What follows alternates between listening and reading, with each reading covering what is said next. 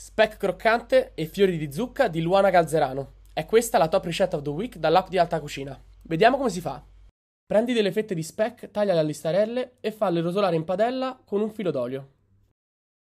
Nel frattempo, pulisci i fiori di zucca, tagliali a julienne e tienili da parte.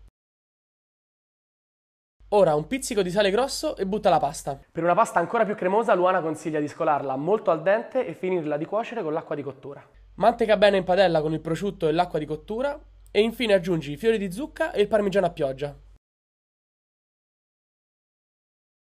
E guarda che bomba! Vuoi vedere la tua ricetta sui nostri canali? Caricala sull'app di Alta Cucina e magari settimana prossima sceglieremo la tua.